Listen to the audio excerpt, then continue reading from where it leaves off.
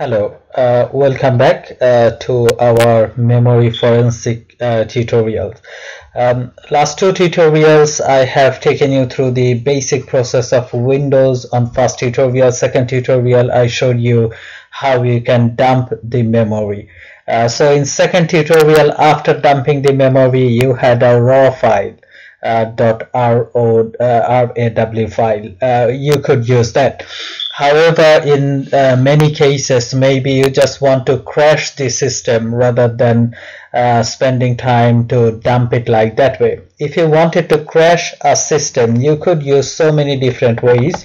One of the uh, simple way you could use called um, uh, there is an application called um, not my fault. If you just search on google that download NotMyFault that will give you a zip folder. I will show you this. I just search uh, download NotMyFault sys internals and uh, the very first link. If you go there that will give you a zip folder. Download that zip folder unzip it and after that you will find couple of um, exe files. So uh, the system i'm using was 32 bit. If i was using 64 bit i would be clicking on this. All you have to do is um, just double click on it. It will say that um, your system will crash. Uh, do you um, would you like to crash your system and um, uh, I said yes I wanted to crash my system. Why? Because before crashing the system it would force to have a dump of the memory a full dump of the memory what I could uh, investigate later on. So as forensic investigator many times you will have this question uh, shall you shut down the computer? Shall you just um, crash the computer probably crashing the computer could be uh, a better option because uh, if you try to shut it down there could be some process running uh, to delete stuff um, some sort of script running uh, for shutting down uh, a computer. Anyways that will be your decision. So uh, if you wanted to take a crash dump you just double click on it and then it will create a crash dump where that's what I will show you now. Um, so if you right click on your my computer go to properties uh, you go to system protections uh, advanced and here system startup system failure and debugging information. If you go there that will give you the place where a dump will be. So if because of any reason your system crashes uh, within your system root which is windows directory or something like that uh, there will be a file created memory.dmp that will have a full dump of your memory. So after I did run that program what I just showed you uh, it's it did create a dump. I will show you where is that dump. Uh, C drive Windows is my system root and in Windows there is a file called uh, memory.dmp this file has been created just uh, about two hours ago uh, when I crashed this system. So this is one of the way how you can dump your uh, memory. I just wanted to show you that anyways um, moving on. This tutorial is about uh, giving you a quick introduction of volatility so whatever the way you um, have uh, collected the image of the memory? Now you want to investigate that memory and that's a huge task really very good skill if you are working in forensic investigation industry um, uh, to learn how to investigate uh, memory and you can use volatility big time for that Volatility is an open source tool. It is based on Python. Um, it can work with a number of different types of images, which includes dump file, what I just showed you. It includes raw file. In previous tutorial, I showed you how you can create a raw file of the memory. It can um, if you are dealing with a virtual machine and if you do have virtual memory which will have vmem file i will show you um, if i show you a couple of samples probably that will make more sense um, if i go there. So let's say um, RAM capture oh sorry. I have um, I will show you different types of files really. Um, if I go there volatility. So see a couple of different types of files. This is a memory dump which has extension .raw this is also a memory dump which is coming from a virtual memory. So this was part of the virtual machine. Whole virtual memory has been taken this is also another memory uh, dump which is raw file and I showed you the dump file right before. Volatility will be able to work with all of these types of files. It is really a robust platform uh, robust framework which can deal with a number of different types of um, uh, image files after you dump the memory. Um, now volatility does have hundreds of different commands. You can do many things with volatility.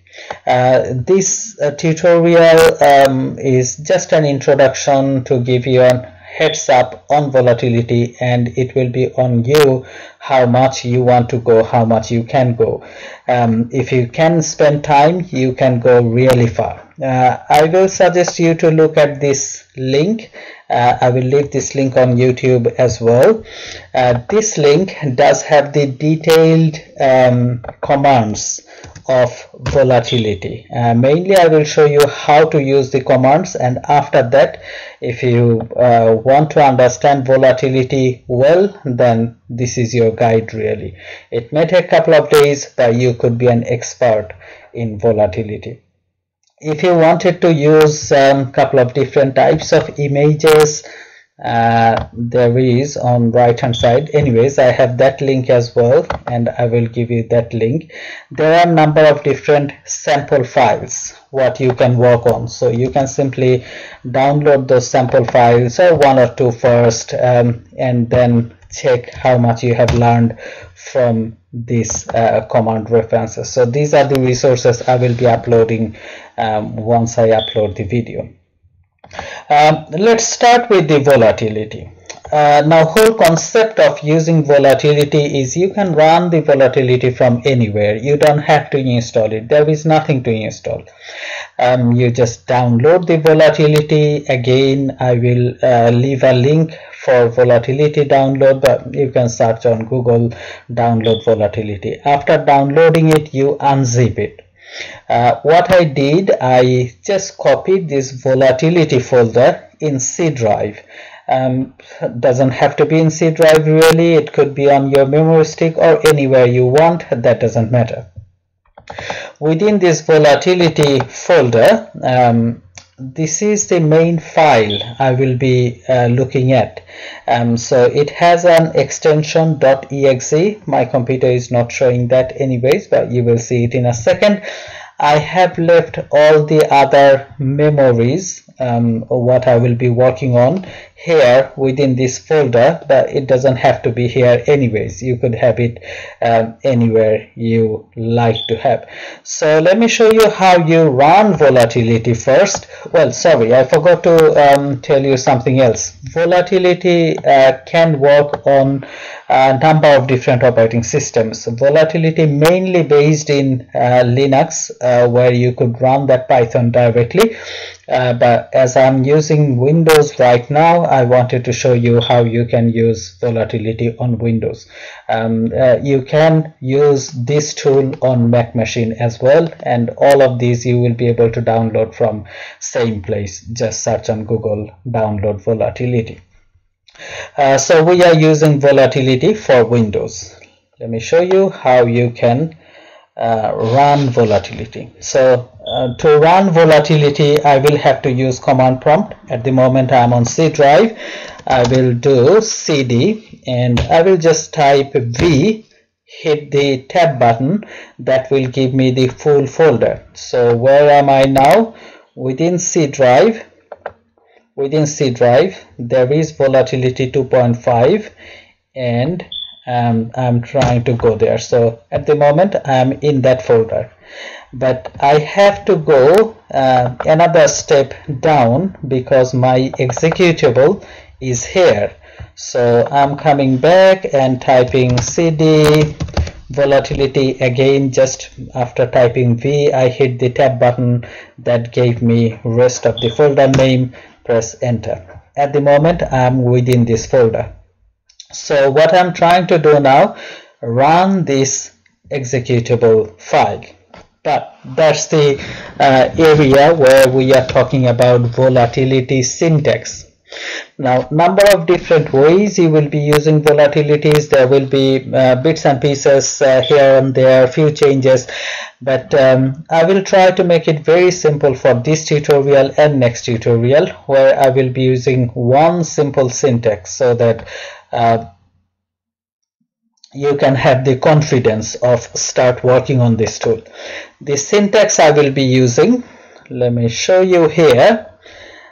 I will start with the executable file name. So for us this is the executable file and this is the executable file name. If it was a python file it would be volatility um, dash 2.5 dot standalone dot py. But this file is dot exe file that will be my executable file name.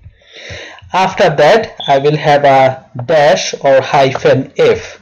It will say um, the volatility it will say to the volatility that um, hey I'm trying to work on a file.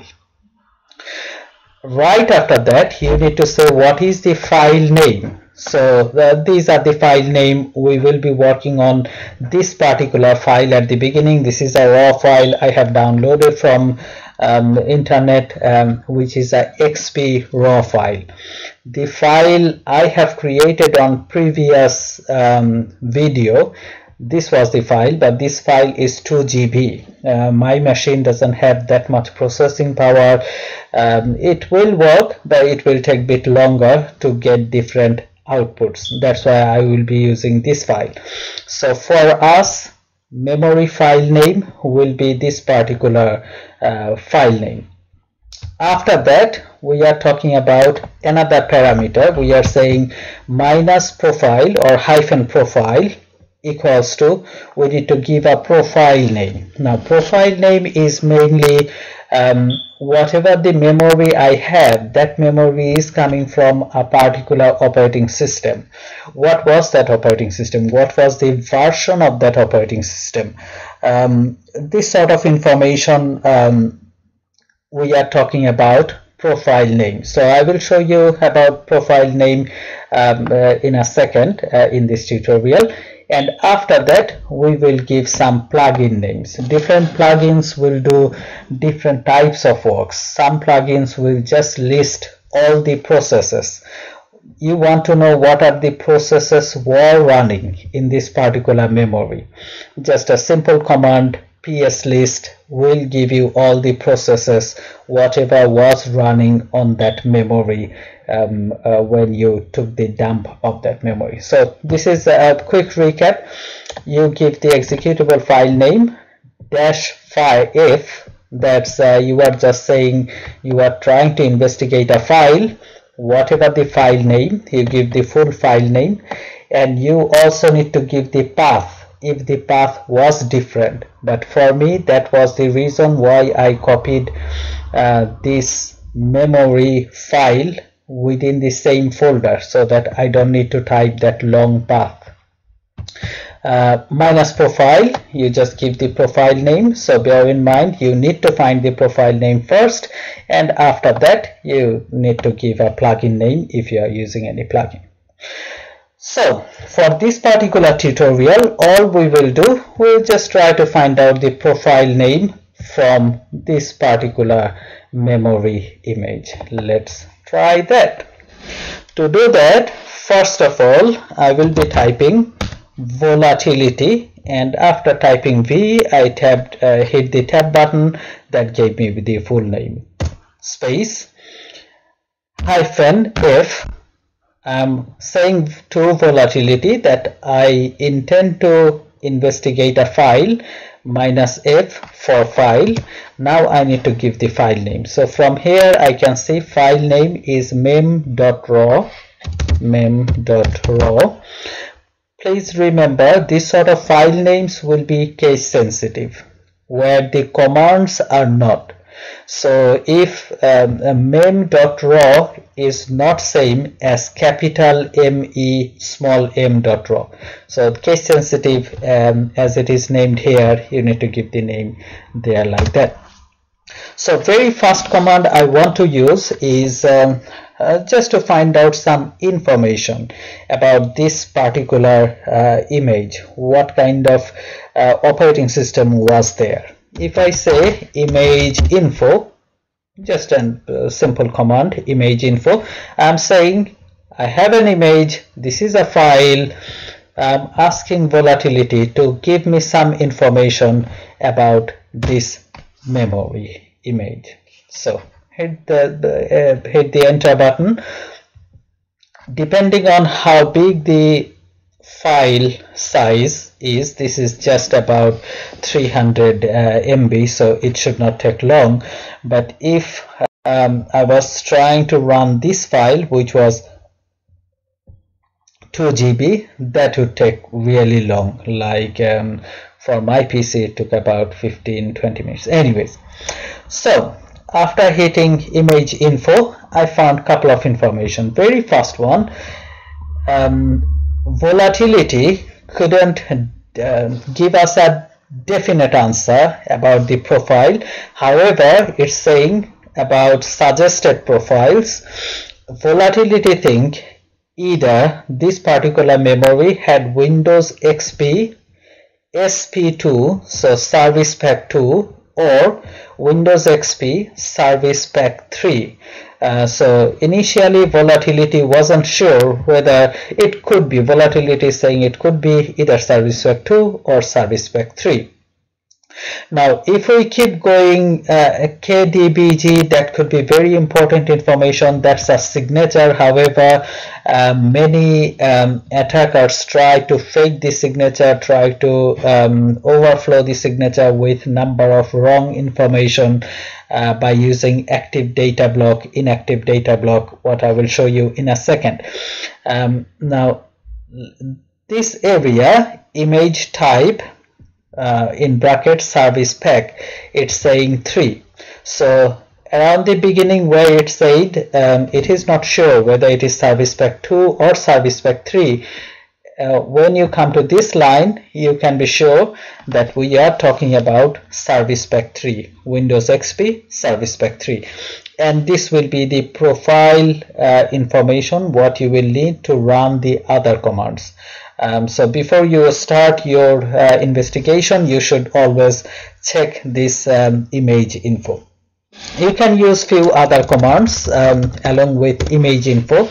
Uh, for example you don't know what are the uh, profiles or what are the operating systems uh, will be supported by this particular volatility version if you want to know that which is always good otherwise maybe we're trying to use volatility against um, certain operating system memory and this volatility does not support that. So if you just run this uh, hyphen hyphen info command that will give you a long list of all the um, operating systems or profiles supported by the volatility. So from here you can see that uh, yes this volatility does support windows xp service pack 3 so we are good uh, to investigate this particular image by using this volatility and number of other operating systems. If you don't see it here in this list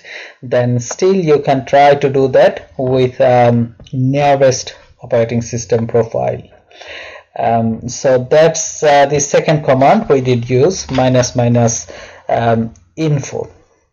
Uh, I think that's where I will uh, stop for this tutorial. So just a quick recap. We had a, a very brief introduction of volatility and we used um, um, minus um, image info uh, just to find out the profile information. We used uh, dash dash info um, so to find out what are the profiles could be supported by this particular volatility.